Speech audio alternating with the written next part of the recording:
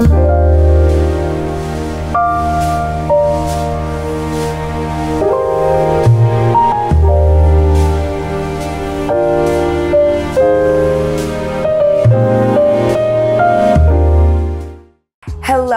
everyone and welcome back to my channel. It is Jazaé Nicole and we're back with another video. Yo, we're back with another video. If you're new, welcome to my channel. I'm Jazaé Nicole and if you're a returning subscriber, welcome back. If you are not yet subscribed, then sweetie, you need to hit that subscribe button. Hit that subscribe button and turn your post notification bell so that you're notified when I do upload and I post.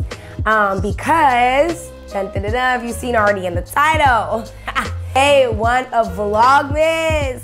Hey. We are doing a great, great video. We are trying Starbucks holiday drinks and reading y'all's assumptions about me. We are reading what your assumptions are about me while trying these holiday drinks. So we're gonna get right into this video. We do have a, um, what? What is this? Peppermint mocha. Peppermint mocha. No. Oh, yeah. Peppermint mocha drink. It does not say it on here. So I'm like confused. Like, what? Okay, so, oh my gosh, this is embarrassing.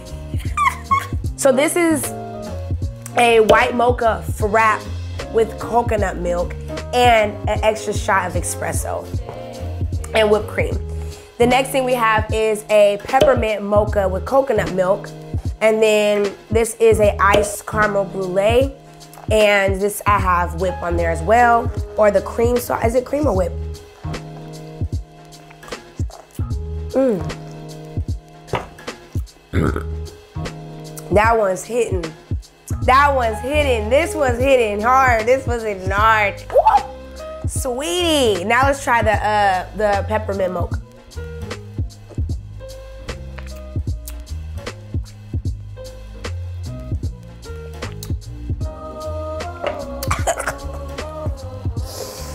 Nah, that one ain't it. and this one, which is the the white, the oh, this is a white mocha frap. This one's all right.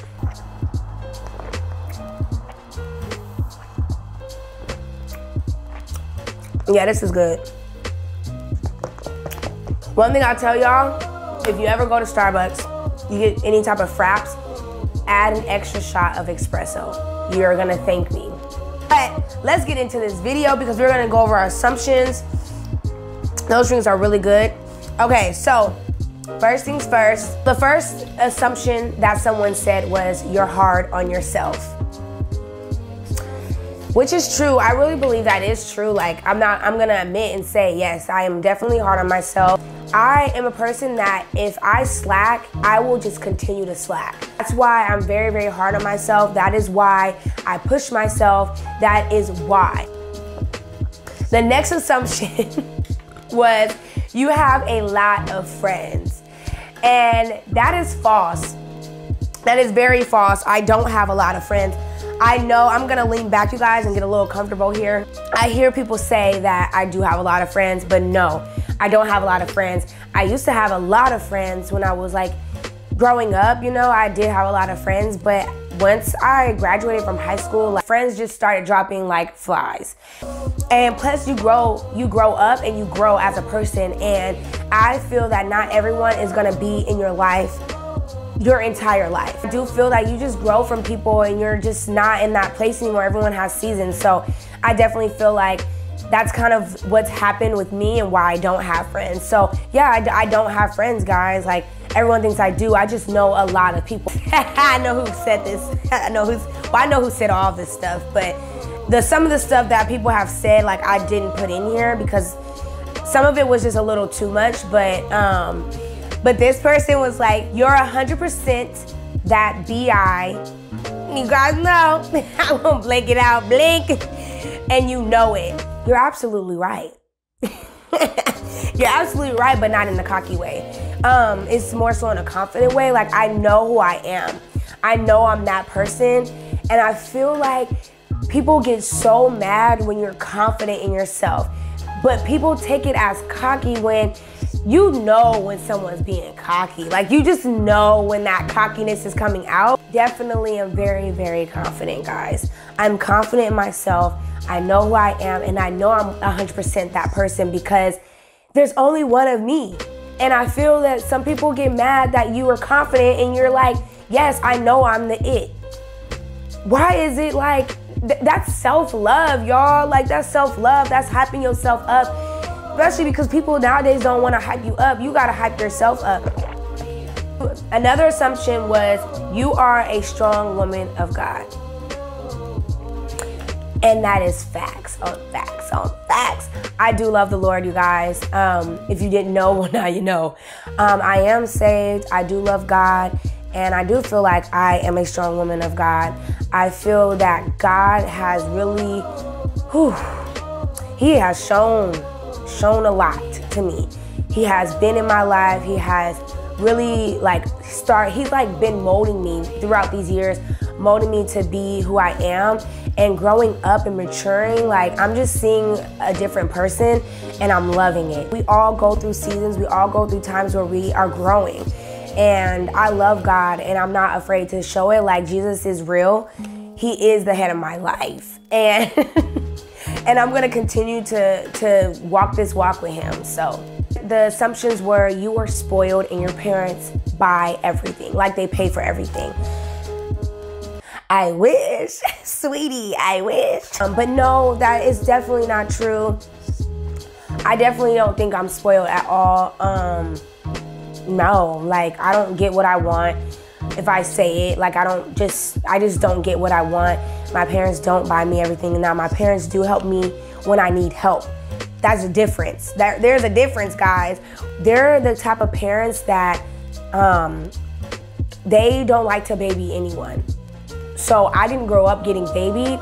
Um, I grew up on how to be independent. I grew up on how to be the best person that I can be and go out and get it. Whatever I wanted, like go out and get it the right way. So I grew up with a entrepreneur uh, mindset. So I've always been getting my money. Like since I was young, I was getting money. And that's the crazy part. Like I really had a lot of money at a young age. Like that's crazy.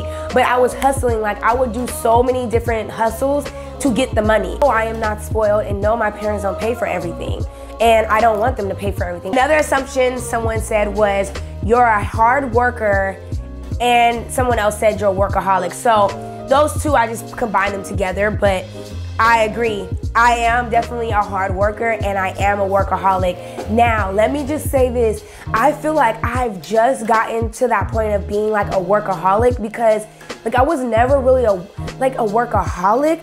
I mean, I worked and stuff, but I loved having like my time off my time to myself. This year, I feel like, yeah, this year I definitely am a workaholic. I just like working, and when I'm not working, I feel like I'm not doing anything. So, but I am definitely a, work, a hard worker. I really just work my butt off, and whatever thing, whatever I have my mindset to do, I'm gonna do it. Mm. It's the consistency of the frap another assumption someone had was your hair wasn't real at first. That's what they said. Your hair isn't real at first. They thought that my hair wasn't real at first um, until they obviously seen that my hair was real. that all the time.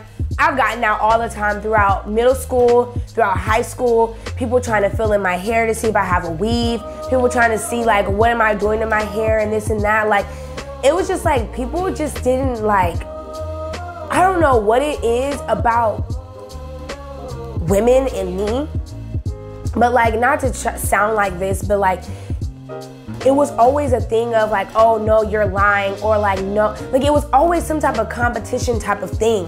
But no, I've gotten that several times. There's no need for me to lie about my hair. When it's fake, it's fake. Another assumption that someone said was, you're secure and it fuels your confidence. Very, very true. I am very secure with myself. Like I've said earlier when we were talking about just like that confidence and stuff, like I am very secure with myself and you can see that. I feel like you can see it with people that are very confident and you have to be like I'm just learning that confidence is key when you're working. Um, another assumption was you don't settle, settle or like to compromise on much. Very, very true. I don't like to settle, guys. I don't. And I don't like to compromise. I need to get better at that. Honestly, like I really need to get better at that because that's not good when it comes to certain situations. But um, very, very true. I, I don't like to settle and I don't like to compromise that much. So, very true, and I am trying to really work on that though. Um, learning how to compromise with certain situations um, in work and just different things, areas in my life. I just know like there's times where you're gonna have to compromise. So I'm working on that. the last one that I'm gonna do today, I have more on here, but my camera's about to die. The last assumption was you're bougie and you have expensive taste. Yes, honey, I am a little bougie bougie. I am, not gonna lie, I'm a little bougie.